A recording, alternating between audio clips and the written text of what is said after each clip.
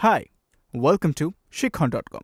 In today's video, we will learn about how to design the invoice in an Excel sheet, how we will use images in the documents in Excel sheet, and how we will use colorful boxes for showing different contents. So if you haven't subscribed to my YouTube channel, quickly subscribe it first. In the earlier tutorial, we saw that how we design a table and how we bring a table and give name and price and how do we calculate the said price. If you have not seen my earlier tutorial class 7, then please go watch my earlier videos in my channel. You can go and check out my channel from clicking down below. So let's get into today's video. We have already made a table for pricing and numbering in Excel. Now at the top, we would like to give a logo for our company. We will also give our address. Then we will design our invoice ID. And if we need any other styling box, then we will place them in this Excel. So at first, let's get to the top. In the previous 7 classes, we have discussed about the home option in Excel. Today we are going to learn about the second option, which is insert option. If we click on insert, then we can see that many new options have come forward. So now, the first option present here will come in the advanced level course. And we have already learned the second option. That is how we will use the table, how we will color the table, how we will change the design of the table and how we will adjust the table. All of these we have learned in our previous class. Today we are going to discuss about pictures, clip art, shapes, smart art, how we will use these options to design our table. So the first option here is picture. So Let's say in our document we want to add the logo of our company.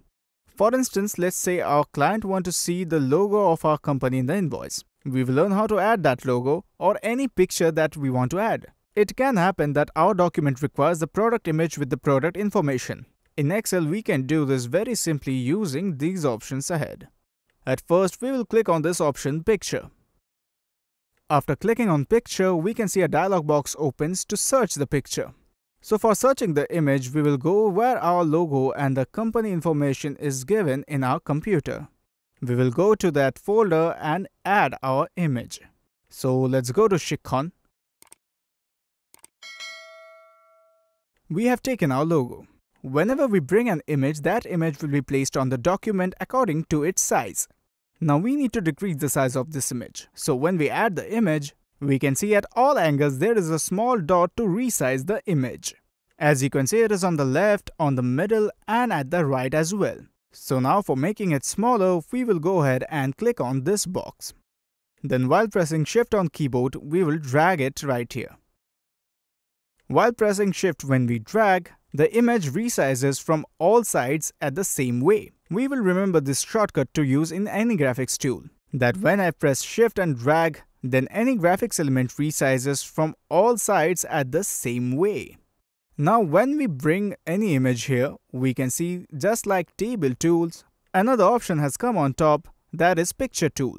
Just like in case of table, for working and editing the table, all the options had come on this tab. Now when we added the picture, we can see all picture related editing could be done from this tab. Now we will learn about this tab and how to use it. But at first, let's place our logo where we want it. After placing our logo, let me repeat again. The boxes that we are seeing here in Excel while editing, these boxes don't come on print. So now that I have placed the logo, if we go to print preview, then we can see in the document we don't have any boxes. Now one more thing that we can do, if we don't want to send the prints to the client and use it for the company itself, then this place for the logo is not good. So let's do one thing, select all these and do merge and center. Now if I place the logo here, then we can see after merging, the lines of the boxes have vanished. This looks way better. So like this, to show the company name here, we will do one thing. Let's merge this area. Merge and center. Now we can see all these boxes have merged into one. Now if we want all of this together, we will simply merge all of it. Then this whole area becomes like a header. So now if we want to give a color, just as we saw in our last video, we simply add a color here, so that our document becomes more visible. Now if we click on the image and go to the picture tools, let's see the options here. The first big box that is present here, these are image effects. This means we can transform our image into different effects that we want. So now when we hover our mouse on the effects, we can see that the logo that is on the table is changing as it is in the effects. So let's select shadow. Now we can see that in our logo there is a shadow falling downwards. Now this is all on your taste. If you like an effect, you can add it or you can just keep it as simple as it is. But if you really want to add any effect, then you can just use these options right here and give an effect. So now, just for example, we will be keeping the shadow in the class. After that, let's come to the right side and see the next options. So the next option is picture shape. So we already had some shapes in the last option. But if we want any other shape than that, then we can use picture shape. So now let's select the triangle shape. Then we can see that our image has cropped into a triangle shape which means the shapes that are present in picture shape. If we want, we can change our images into these shapes. Just like that, we can see our image has changed here. So like that, the variety of shapes that are present here, if we want to design it in our way, then we can change it from picture shape right here. It can be our logo or any other design that we want. Now these shapes are just not for logos because this design right here does not look good with our logo. But if you want to make any corporate documents, then there will be an welcome page. In that page, you can use any of these shapes or the shape that is used here to present it in a better way. So we have to keep in mind that the designing that we do here are to make the presentation much more attractive. So keeping that in mind, we will use these shapes so that our table looks much more better.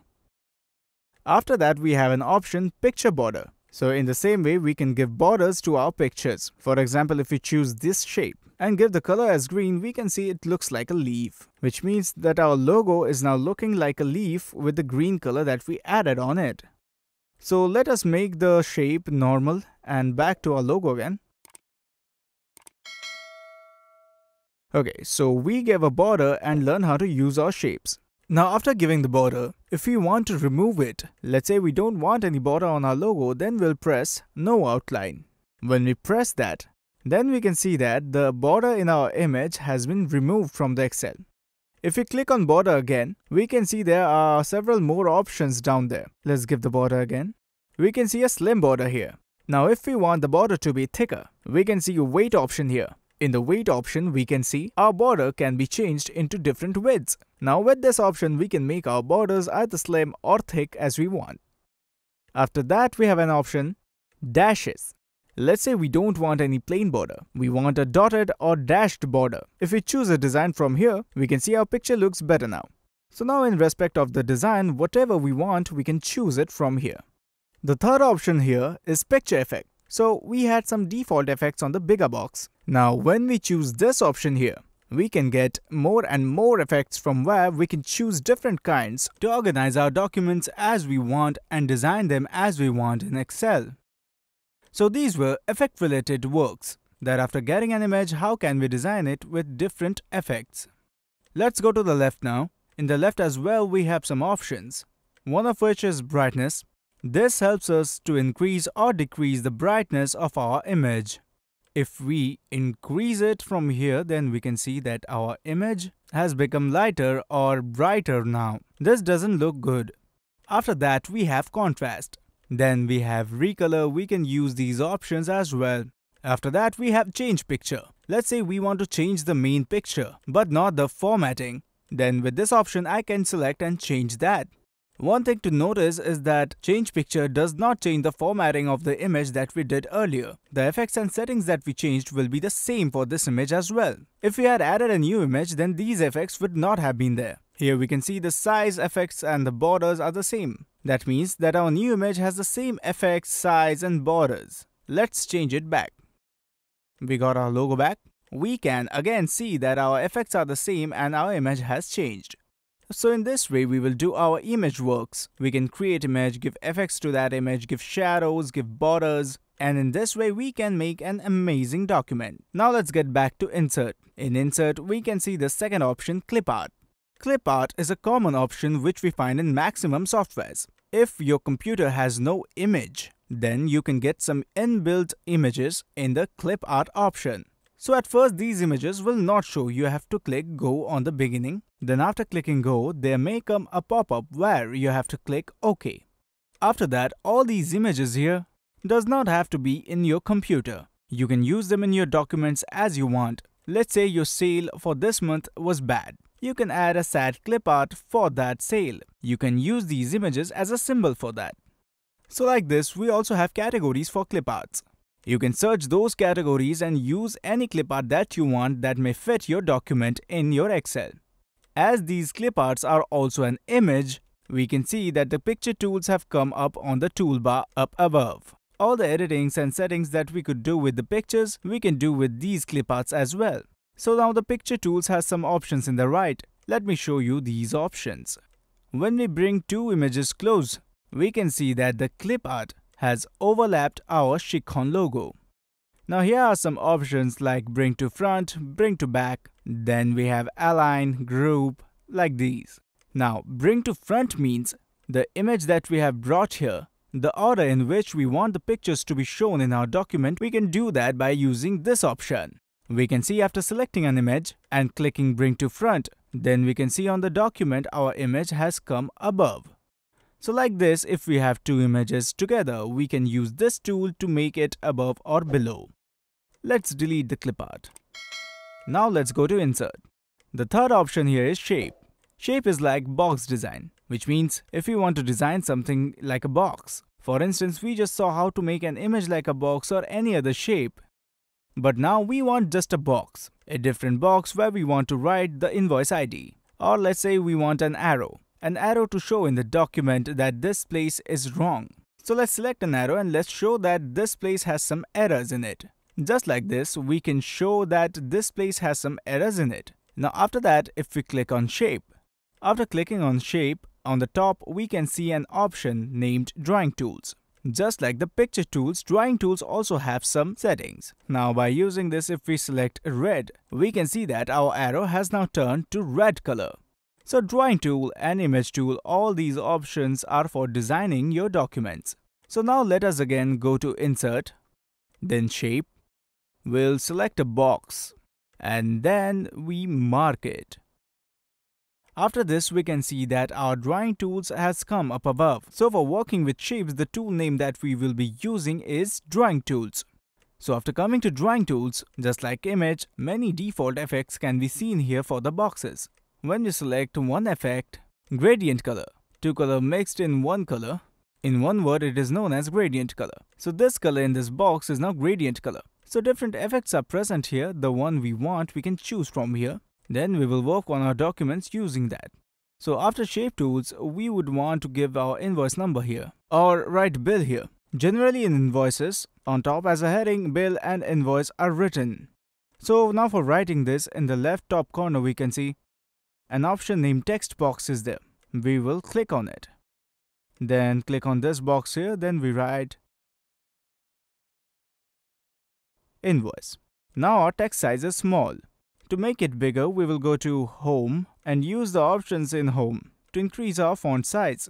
And if we want to change the color, as we had already learned in our previous video, we will do the same steps and change the color of the text here. Once more, I will remind you to see the previous videos before watching this video for a better understanding.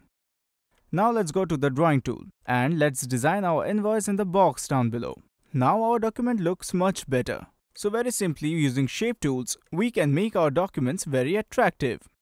So in respect of these technical softwares, we have to keep in mind as we are learning software, we have to develop our minds like that, which means we have to set our minds with the icons. Now in images also, we had seen some options here. If we click image and go to picture tools, then we can see some options here. So if we click on shape tools as well, then we can see the same options here. So, we have to develop our minds that all these works are same. Let's click on Shape Fill.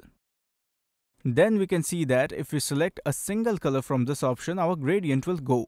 So if we want, we can give any color from this color palette. If we want, we can set a picture as well in the background. Now in gradient 2, we can choose the direction of the gradient in the box that we want, which means where the black color will appear. So by hovering the mouse, we can set the gradient as we want.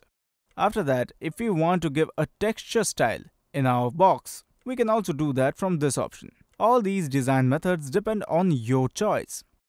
After this comes shape outline. Now when we have the green color inside the box, the red outline does not look so good. So let's make the outline as green. Now, our outline color is very light. Let's click on more outline colors. A color tool will appear where we can select a darker option. But the outline does not look so good. So what we can do is change the outline color, make it white or make it dotted or dashed. Similarly, the shape effect also works similarly to image effects. We can change our box to different shape effects. So like this, we can design our images and shapes in Excel. After that, we have text style. Till now, we're working on the box style. If you think that your text is a bit boring and want to design the text as well, very simply you can choose any option from here and design that. So just as how we use the shape fill works, we can use these options to text fill as well. Okay. So in today's video we learned how we can set any image in our documents, how to use the shape tools. We have seen we have many shape tools here. Once more I will say, for working with our designs the shapes that we need, we can use that specific shape tool and work here. Let's go back to the insert tool. Then we have the fourth option here smart art. Smart art is not a graph, it is just for the design. Graph is used for calculations and smart art is used for designs.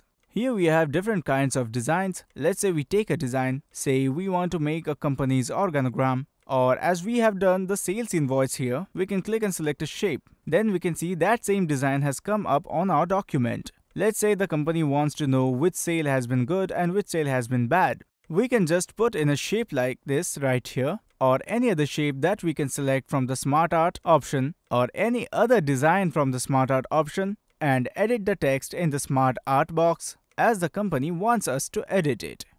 So we learn how to set a smart art, how to design with shape tools, how to set a clip art, and use all these options together to design our document very beautifully. So friends, thank you for staying with sikkhon.com. Keep staying with us to get more informative tutorials like this. Thank you.